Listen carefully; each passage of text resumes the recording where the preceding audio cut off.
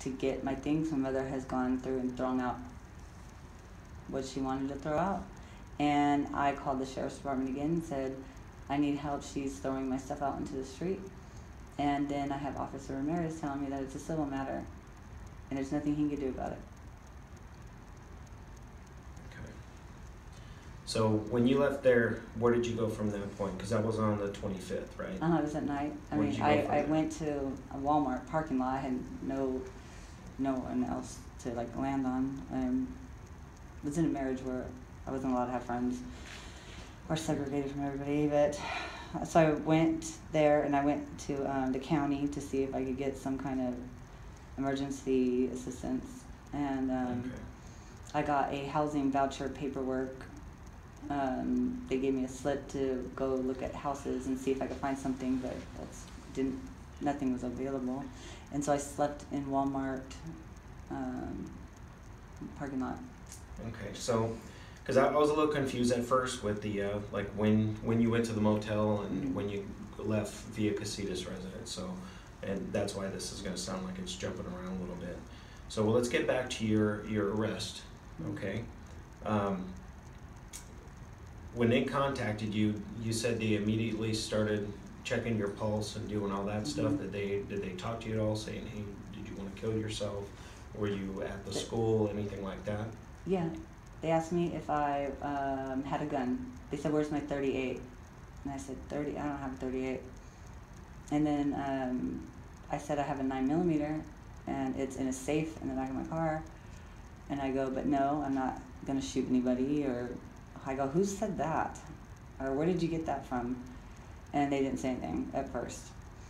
And then I said, "Well, how did you come to this conclusion, or how are you here? Did I didn't I didn't go threaten anybody, or uh, I don't understand." And then they said, "Well, we got a call saying." I go, "So you got a call, and now you're saying that I'm it's true, or is it now unfounded?" And he says, "Well, we're doing that investigation right now." I said, "Okay." So I just sat there and waited, and then I complied, and then I was being arrested. Um, during the process, you said you were searched. Yes. Okay. Do you remember the deputies that searched you and how that came about? Like, how did that happen?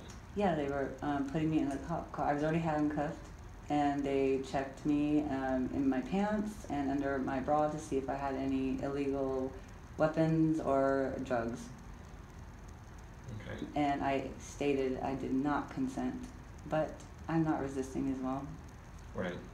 Well, incident to arrest, deputies are able to do a cursory search for weapons before But placing the I- an arrestee in the car. But for a female, They, it's. I don't consent to a male searching in my pants. Well, that's, we don't, What- we I, don't. I wasn't a threat. I wasn't No, hold on a resisting, second. and I was already I in know. cuffs, and I could okay, wait for hold a on. female.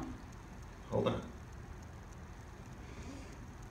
Doesn't matter if you're male or female, if there are no females available on our shift, we can search you. Would you let your daughter be searched by male in her pants? If she's doing What was I doing? any type of a crime. What crime was I committing?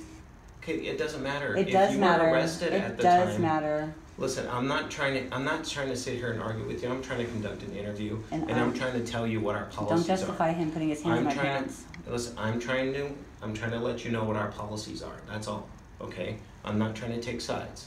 All I'm saying is that if you are arrested, if you, whether you're a male or a female, if we have no females available on the shift, a male deputy can and will search you prior to placing you in the back of a patrol car.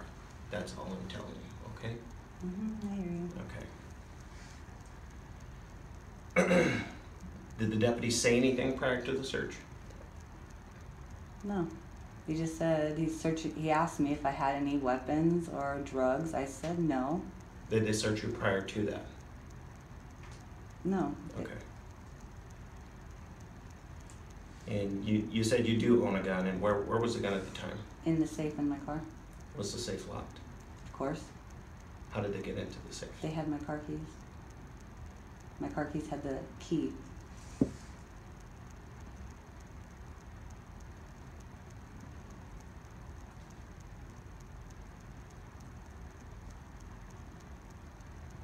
Okay. And how did, uh, So when you left the house, you said, did you place the safes in, in your car, correct? Yes.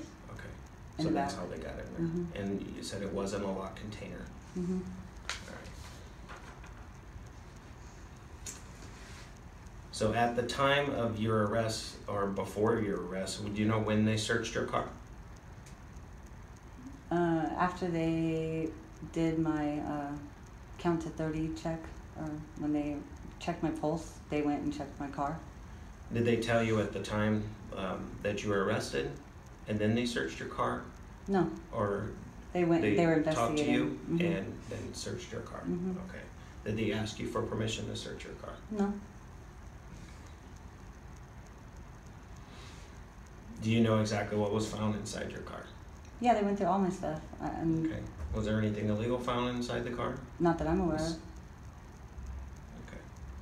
I thought you were allowed to. I have a weed pipe in there, yes, and uh, it's hadn't been used in a, maybe over a year, but it was in a safe, another safe, the safe that had my jewelry and everything else inside it, not the gun safe.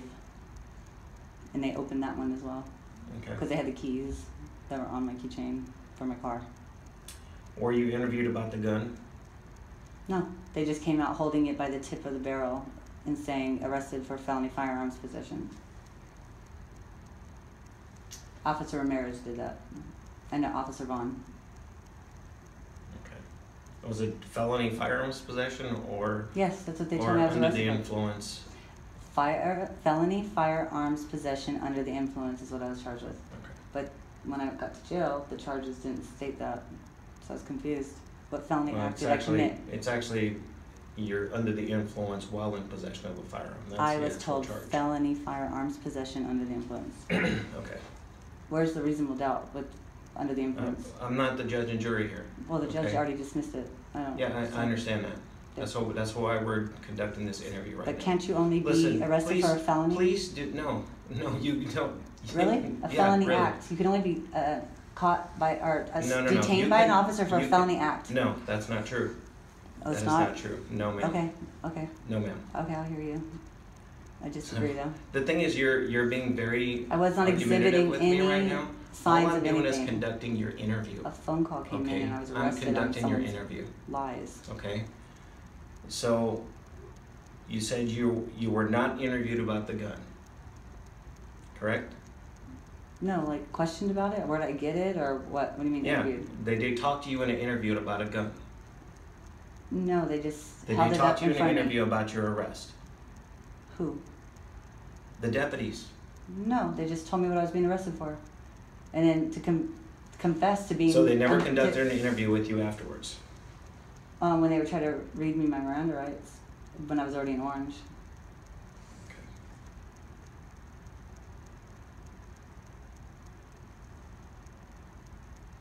And the whole way to the, or uh, the West Valley, they were trying to tell me to confess for my best interest. They were trying to help me out. Okay.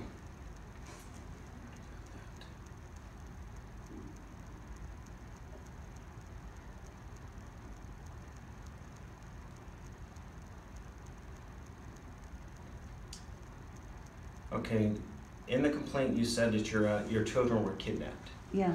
When when did that occur?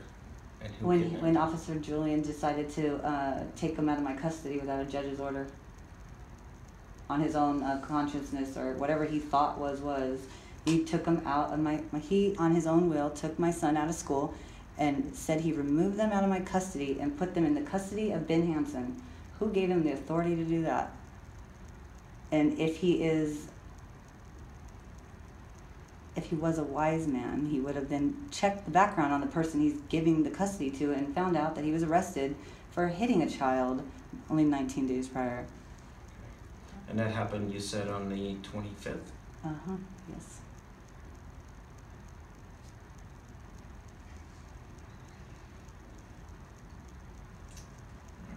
And he was, and it was just Jacob, you said, that was uh, kidnapped by Deputy Guillen?